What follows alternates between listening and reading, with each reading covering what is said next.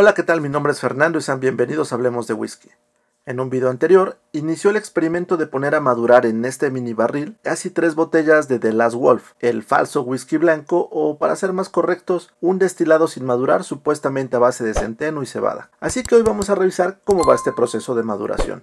Pero antes de servir una prueba de este destilado ya reposado, quiero compartir un comentario con ustedes, y es de Weiss Arte y Decoración, dividido en seis puntos. El primero tiene que ver con la forma de calcular el volumen del barril en litros, básicamente mediante el método de tara y destara, esto es, al peso final del barril, o sea, ya con agua, se le resta el peso inicial, es decir, cuando el barril está vacío, y el resultado sería el volumen. El segundo punto tiene que ver con una recomendación para detectar fugas mediante agua hirviendo. Aquí solo les recuerdo que yo me guié por las indicaciones del vendedor, que por cierto ahora tengo la impresión de que no es el fabricante, pero eso ya lo veremos. Y es correcto, algunas fábricas de barriles utilizan un poco de agua hirviendo para la detección y sellado de fugas. Sin embargo, el hinchar el barril con agua fría también es un método válido. El tercer punto tiene que ver con el barnizado del barril. Yo también lo mencioné en el video pasado, una barrica para maduración no se debe barnizar. Aquí estamos totalmente de acuerdo. En el cuarto punto me comenta lo siguiente, antes de llenar la barrica, luego de haber sido limpiada, hay que dejar secar el interior y no introducir el whisky con la madera húmeda. Y esto suena como un muy buen consejo, solo que repito, yo seguí el manual que venía con el barril, y ahora en retrospectiva ciertamente creo que las instrucciones son poco precisas. En este caso en particular, no se menciona algún tiempo de secado del barril. Lo que sí se indica es que si no se cuenta con alguna bebida alcohólica para añejar en el barril, al menos se debe llenar este con agua para evitar que la madera se deshidrate. Bien, el quinto punto eh, creo que es también un muy buen consejo y es el curar o sazonar el barril con otra bebida, ya sea jerez, ron, oporto, vino o tequila. Y la razón, según Weiss Arte y Decoración, es para sellar la madera con otra bebida. Insisto, es un buen consejo, pero en realidad para el objetivo principal de mi experimento esto no lo veo tan necesario. Y el sexto y último punto, que por cierto lo sentí en tono de regaño, es el siguiente.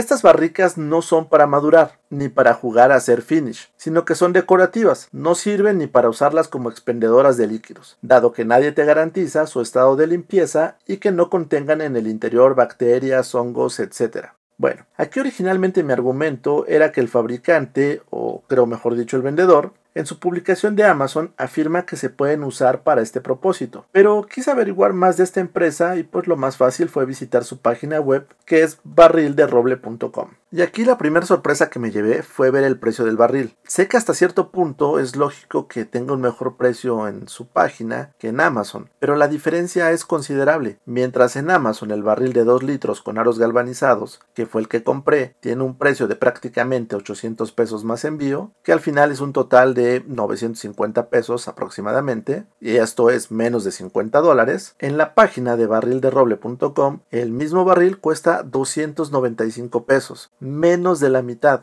Eso sí, el envío es mucho más caro, pues son 320 pesos, pero esto es un total de 615 pesos, o sea, casi 31 dólares. En resumen, comprar directamente en la página nos ahorra un 30%.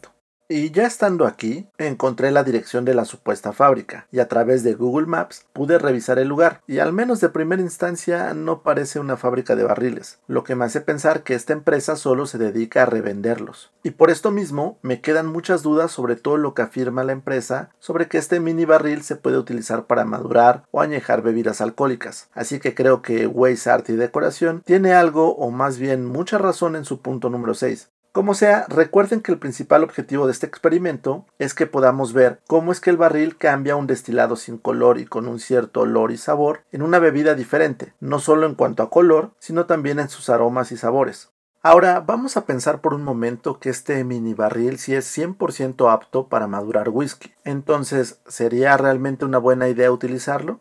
Bueno, pues de acuerdo a ciertas pruebas que hizo la multipremiada destilería de Buffalo Trace entre 2006 y 2012, la respuesta es que no. Pero esto no ha impedido su uso por parte de algunas empresas. Veamos, la gran mayoría del whisky producido en los Estados Unidos se madura en barriles de 200 litros. Sin embargo, algunas destilerías artesanales de este país han utilizado en las últimas dos décadas barriles más pequeños, algunos incluso de menos de 12 litros. Como lo hablamos en el video anterior, los barriles más pequeños tienen una mayor relación entre entre el área o superficie con respecto al volumen, lo que significa que la influencia del barril es mayor por unidad de volumen de líquido. Para la industria del whisky artesanal, esto representa tiempos más rápidos para poder comercializar su whisky.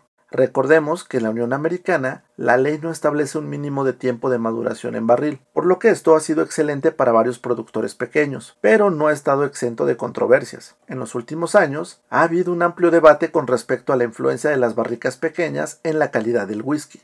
El experimento realizado por Buffalo Trace utilizó el mismo destilado que se produce para su bourbon, el cual usa un mash bill o mezcla de harinas compuesta por maíz, centeno y cebada, y se dividió en barriles de distintos tamaños siendo el más pequeño de 5 galones, unos 19 litros. Un segundo tamaño fue de 10 galones, alrededor de 38 litros, y el más grande fue de 15 galones, esto es unos 57 litros. Y estos barriles se dejaron madurando durante 6 años antes de realizar un análisis sensorial del contenido. Al final del experimento, y según sus expertos que evaluaron el whisky, los experimentos con barriles pequeños fueron un fracaso. El maestro destilador Harlan Whitley dijo, como se esperaba, el barril más pequeño de 5 galones envejeció el bourbon más rápido que la versión de 15 galones. Sin embargo, es como si todos hubieran pasado por alto un paso en el proceso de maduración y simplemente nunca obtuvieron esa profundidad de sabor que esperamos de nuestros bourbons. Y bueno, tal vez los experimentos de Buffalo Trace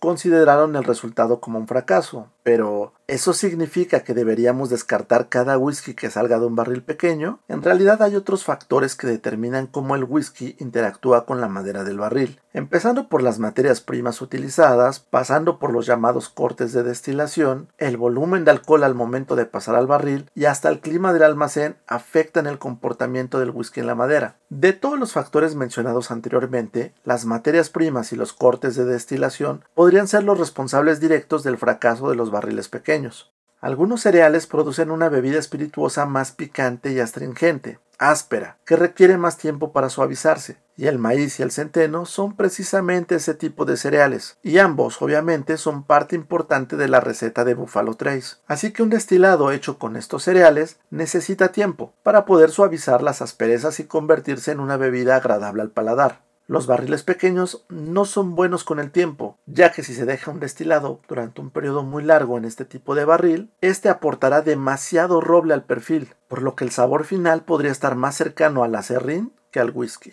La forma en que el destilador corte el aguardiente durante la destilación es otro tema, y es algo que requiere mucho tiempo para explicar. Pero en resumen, si un whisky se madura durante años, se puede hacer un corte simple, sin que se requiera de grandes habilidades por parte del destilador porque el alcohol se limpiará, por así decirlo, con el tiempo y con ayuda del mismo barril. Pero esto no aplica en barriles pequeños, los cuales requieren un destilado muy refinado para que la maduración funcione correctamente, por lo que es necesario un maestro destilador con mucha más experiencia y que sea mucho más cuidadoso al realizar este proceso por lo que la experiencia y habilidades del destilador pueden llegar a ser más importante que el tamaño del barril. Sin duda, al final la cuestión para nosotros los consumidores debería ser un tema de calidad, es decir, solo nos debería importar si el producto final es bueno o no.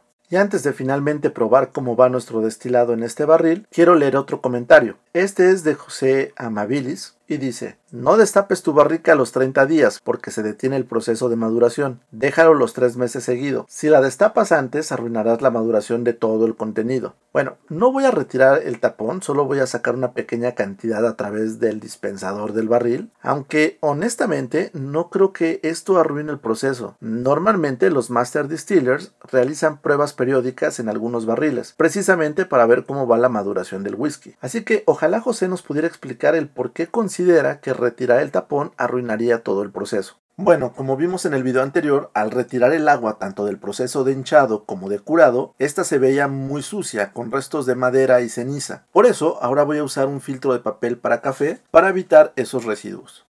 Ahora sí, estoy listo para servir un poco de este lobo reposado. Espero no tener que quitar el tapón y la razón es la siguiente. Al tener el tapón puesto en el barril se crea un efecto de vacío, lo que impide que el líquido fluya. Así que es posible que al abrir la llave no salga líquido o como en este caso salga muy poco. Pero creo que es suficiente para que lo podamos probar. Solo hay que dejar que termine de filtrarse. Todavía hay una pequeña cantidad en el papel.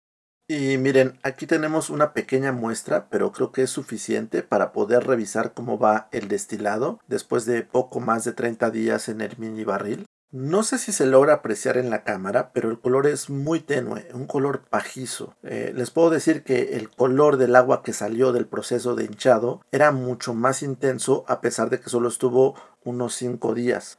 Ahora el aroma. Les puedo anticipar que huele bien sobre todo si lo comparamos con el olor original, que era totalmente de alcohol. Ahora se percibe dulce, hay notas de vainilla y sobre todo se empieza a resaltar el aroma especiado que da el centeno. Ahora sí puedo creer que el destilado original tenía centeno. Estoy muy contento con esta parte, el aroma sin duda ha cambiado en este mes y días y ha sido para bien. Y ahora vamos con el sabor. De entrada les puedo decir que sí cambió, pero no me gustó del todo. Sí se percibe más dulce y la nota especiada también es ahora más fuerte, pero ahora predomina mucho más el sabor alcohol, junto con una nota como a químico limpiador, algo no muy agradable. Y es curioso porque si recuerdan, el sabor original no me pareció malo, era desde mi punto de vista mucho mejor que el aroma y ahora parecieran haberse invertido los papeles. El aroma es bueno, y el sabor es desagradable. Hasta aquí este video, denle like si les gustó, suscríbanse si aún no lo han hecho y activen las notificaciones. Y nos vemos en un próximo video.